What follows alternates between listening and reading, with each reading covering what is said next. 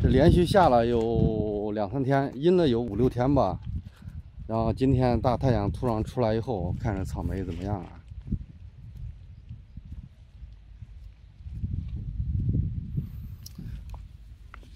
这都是买苗的时候带过来的炭疽病。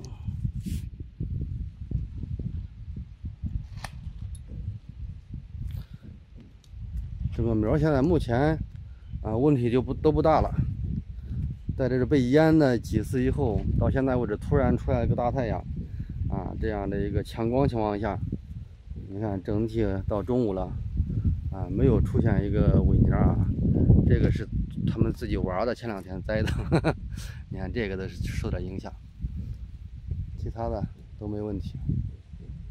下一步这个草莓的田间管理啊。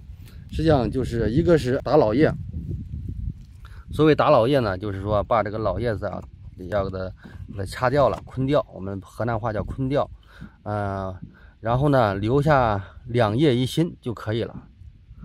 剩下的一个就是关键的，就是可以带着肥料啊，水肥管理，这个是啊草莓当中呢至关重要的一个问题了。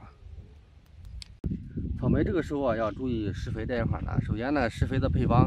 啊，一般你要根据苗的长势啊，适当调整，不是死的啊。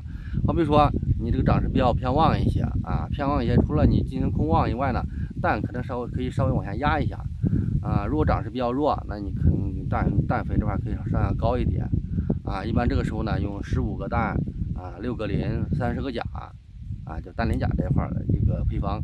啊，呃，另外就是在加入量这一块啊，一定要注意。你好比说，啊，我们一般控制这个，在这个草莓刚开始的时候，一期值呢控制在一点八左右，因为草莓呢是最不耐盐分的啊。你这个肥料量稍微一大，有可能就造成烧根了，啊，苗发黄不长，最后可能就枯萎了，啊，是这种情况。